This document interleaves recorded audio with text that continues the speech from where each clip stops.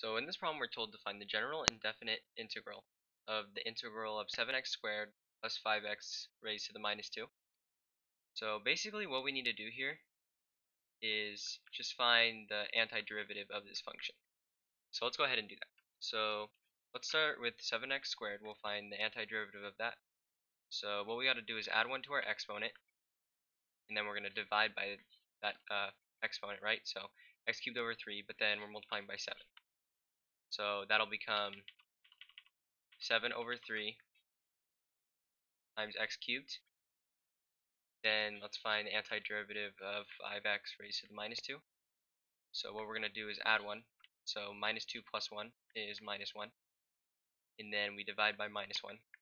And then we have a 5 here, so we got to multiply by 5.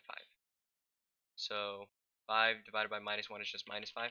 So it's just going to be minus 5x to the minus 1 minus 5x to the minus 1. And then, since we're taking the antiderivative, we got to add a constant. So we add c to it. So when we add c, this is going to be our answer. So the answer to this problem is going to be 7 over 3 times x cubed minus 5x raised to the minus 1 plus c.